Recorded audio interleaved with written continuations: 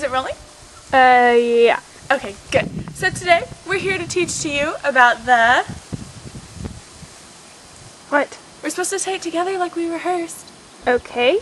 The Hello. Wait till I count to three. One, two, three. the, the causes causes and and effects of of the Cold of the Cold War. War. Yay! Okay, so first let's start out with this professionally made reenactment of the Yalta Conference. All right, roll the clip.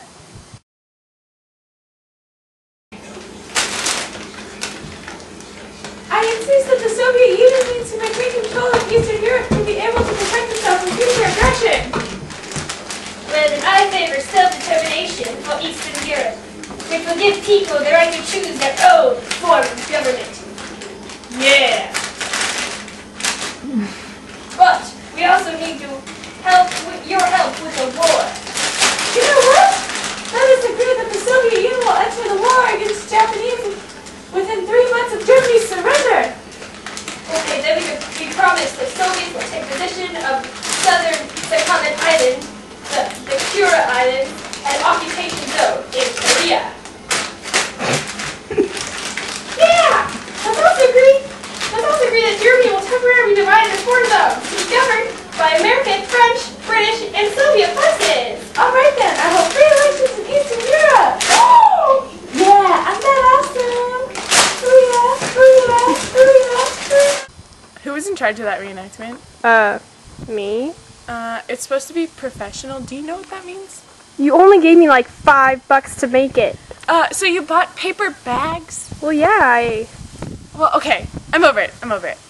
Okay, so for information on the United Nations, we're gonna go to my neighbor's house because he learned all about it in college, and then he moved in with his mom when he dropped out, which I think is really. Oh, okay, okay. Let's let's just go. Okay, Okay. let's go.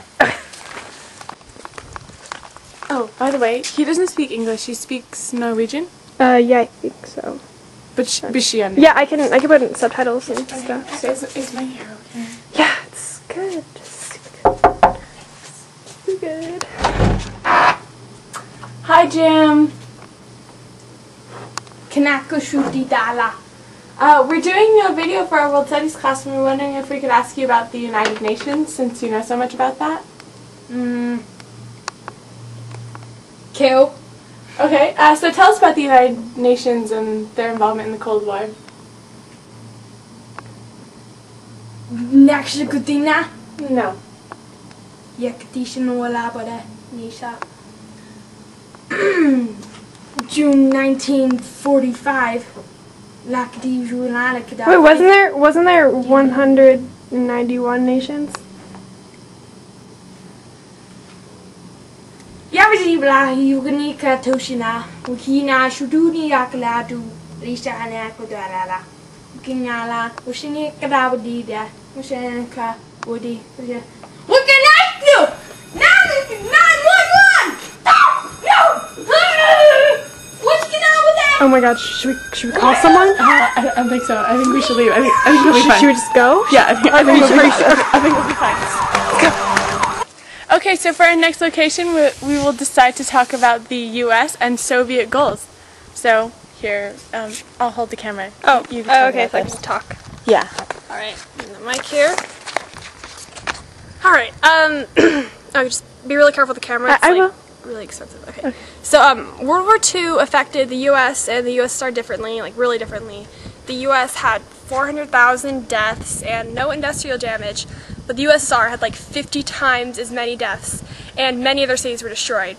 So their goals were pretty differentiated, and they were um, they were affected differently by the, the Cold War and Woo! Earthquake! Earthquake! Earth! Could you move a chair for like two seconds? Is it? Sorry. Okay. Okay, it's possible. I promise. Okay, here, here's the camera. Okay, so for our next thing, we decided to have a professional video made to represent the USSR and Eastern Europe. Roll the clip. Hi, boys and girls. I represent the USSR. What's this? Oh no! It's the West, and it's attacking me! Ah! Oh no! I must protect myself. I have an idea. I'll violate the Yalta Agreement by imposing communist governments in European countries.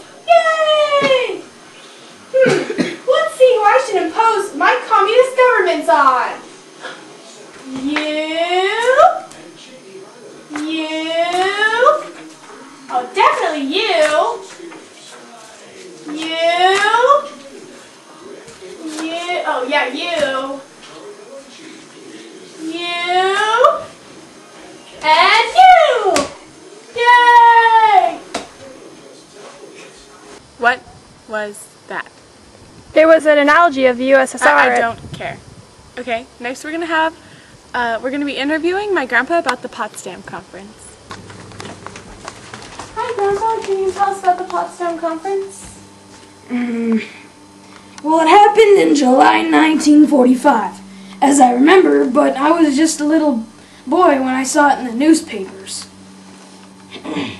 I remember that Truman was a lot more forceful than with Stal- with Stalin and Roosevelt, and he demanded free elections in Eastern Europe. But Stalin refused to budge, and there was a famous quote that he said. Can you remember it? Yes, I believe it was. It, it went like this.